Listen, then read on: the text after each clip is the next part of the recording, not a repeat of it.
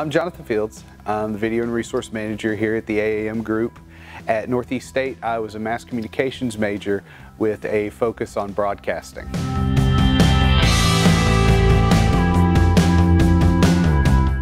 Yeah, Northeast State prepared me for my role here at AAM. Um, the position didn't exist beforehand. There was no video production side of things.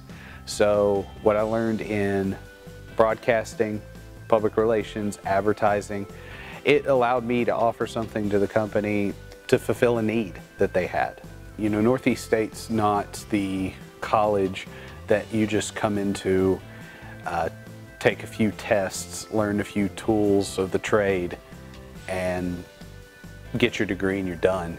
Um, their focus, a lot of the focus comes back to their motto where they say, we're here to get you there. They're not just talking about getting a degree. They're talking about getting you into that job, getting you into that position in the workforce, and allowing you to be a productive member of that team. Hello, I'm Tim Odom, the president of the AAM Group in Piney Flats, Tennessee.